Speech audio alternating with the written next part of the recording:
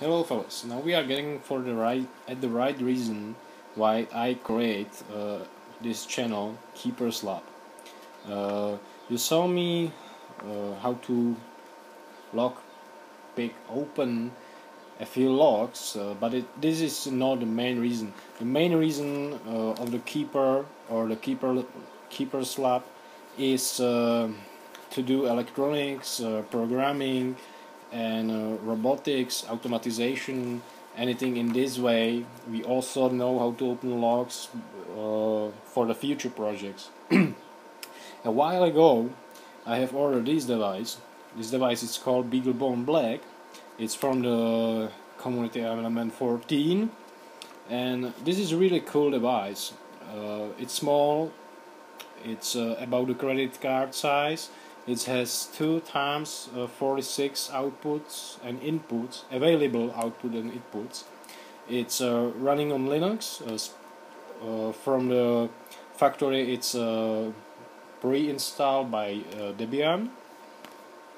And I got a project at work that require robotic arms to do what it's should supposed to do and uh, they told me okay we have uh, one device one robotic arm from other project that end so they asked me if I can uh, make it to move again.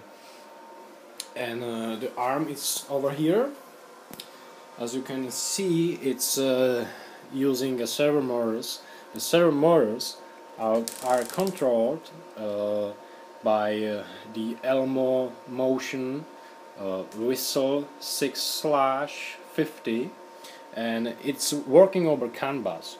And uh, I didn't know at that time it would be that much of a challenge to make it work with the BeagleBone Black.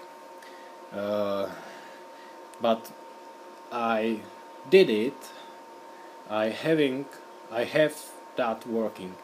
I also take out uh, this panel as you can see it's already have, have some changes. You can see some plastic here. The plastic wasn't here because there was there was living uh, this PLC machine uh, and this PLC machine it's a 12 inch screen. As you can see I already got it the PLC because I used some of the parts inside my machine. As you can see I have put it a 7 inch touch screen that is connected to the BeagleBone over HDMI. Uh, here you can see, see the back. Uh, here is uh, the driver for uh, the LCD display. Here is the driver for the touch screen. Uh, it is connected by HDMI and uh, on the USB to the BeagleBone Black. As you can see, I have my PCB here. Uh, the PCB here it's uh, because this robotic arm is going to work with a camera system. So and the camera system it's from Cairns and that is working on 24 volts. I also must be to work with some pneumatic valves uh, that are also working, uh, working on 24 volts.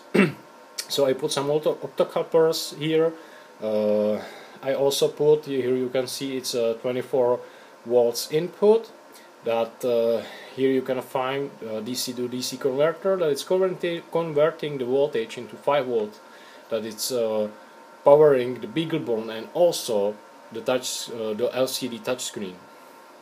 Here are some buttons that as you could see from uh, the front side uh, here is connected uh, the CAN bus that is going over CAN receiver to the RX and TX pin on the BeagleBone Black that must be configured. And it is really hard to get it done. I can tell you that. Okay so. I have also created uh, I have created two programs. Uh, one program is creating it's created in the C that is actually working over the CAN bus uh, or it's sending and receiving uh, the signals over CAN bus and I have created a GTK uh, window that is displaying the information. Uh, the GTK window it's not done yet. Uh, so we can open the GTK window. As you can see there is nothing to see. It's uh, only saying we can focus. Yes uh, the status uh, now press the home button. And the reason is why saying now because there was some communication uh, to get operational models, uh, test the communication. So if anything fails it's going to show you here the error message. Uh, the home button it's the white one. And when I press the white home button the arm is start to move into its home position. Now when it's home at the home position uh, you can see uh, the ready status. When the status is ready and I press the start button it's going to do one cycle. Okay, that was hard to see so I press the button one more time and it's going to pick up the part and get it back. Uh, the idea is uh, that it's uh, going to pick up the part open valve that is uh, going to create a suction to suck the part it's going to take it up uh, where is going to be the cameras that is going to take a picture and it's going to move uh, above the chute for the part and it's going to wait uh, for the signals. If it's the part it's okay or it's wrong. If it's okay it's just going to drop it. It's wrong it's going to move a little bit more and then drop it in the uh, uh, bad parts. Uh, so let's see. One more time. The movements. And that is pretty much uh, all that it's doing right now because I don't have the camera system here. So uh, this is only this, the testing. So as you can see we are able to work uh, with uh, servo motors uh, we are also able to create uh, arms.